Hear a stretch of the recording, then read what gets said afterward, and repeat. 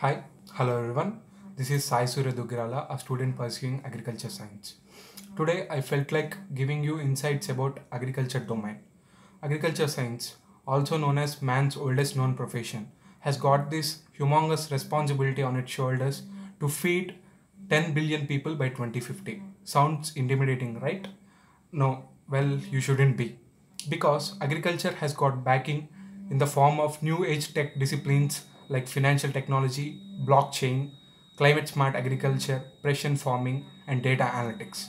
So, one can easily conclude that agriculture is no longer a nomadic science or a thing related to farmers and rural fraternity. So, in this wake, I would like to introduce you Oxy Farms, founded by Mr. Radhakrishna Tatavarti. Oxy Farms is an investment pooling platform into direct agricultural operations. So, you can easily become a part of agricultural operations and help yourself and farmers grow simultaneously. Please do check out www.oxyfarms.com and please do follow the social media handles of Oxyfarm on LinkedIn and Facebook. Thank you. This is Surya signing off.